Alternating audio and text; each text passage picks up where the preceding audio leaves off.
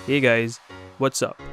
Android Nougat 7.1.1 is officially only available on Pixel and latest Nexus devices. But now, you can install it on your Samsung Galaxy S3. Let's get started.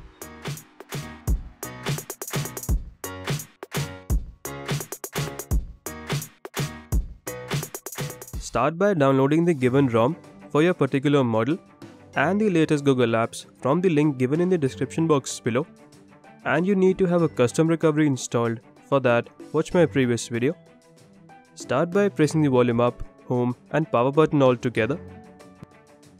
Wait for the Samsung Galaxy S3 logo to pop up and then leave them to boot into recovery. Now once you're in the recovery, go to backup and swipe to backup. This will back up your current ROM and data. Now go to wipe, swipe to factory reset.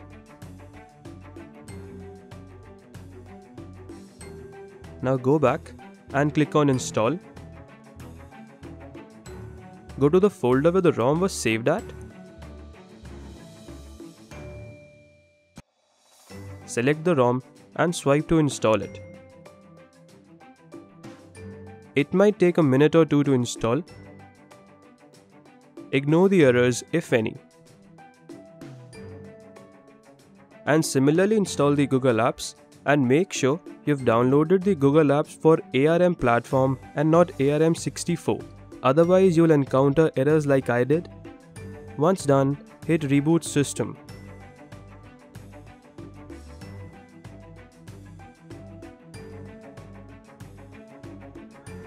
Android Nougat is looking pretty good on the S3 Let's check the Android version.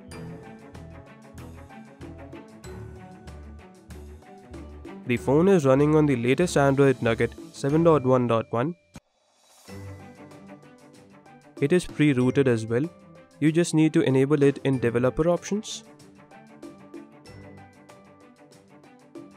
You can also swipe left from anywhere in the settings and access the full settings menu.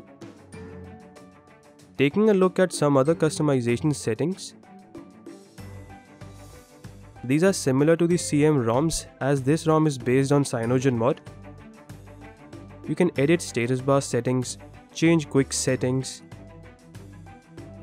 change the settings of the hardware buttons,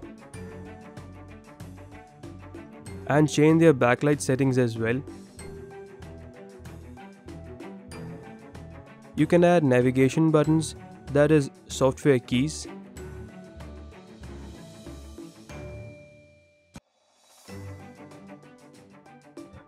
and some further settings as well.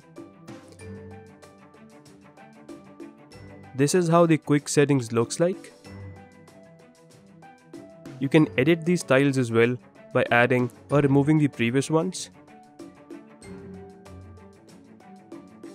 Everything works out of the box, including network, data, Wi-Fi, and basically everything you can think of. Camera is also working fine. There is no lag. Video shooting works just fine. Only the viewfinder is cropped. The ROM is very fluid and smooth. Also you won't notice any bugs either. You can easily use it as your daily driver. Also, the 16 megapixel 4K action camera giveaway is still active, but it is about to finish. You can head to the link in the description box below and participate in it and stand a chance to win the 4K action camera.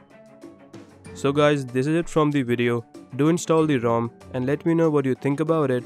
So guys, thank you so much for watching. I'll catch you in the next one.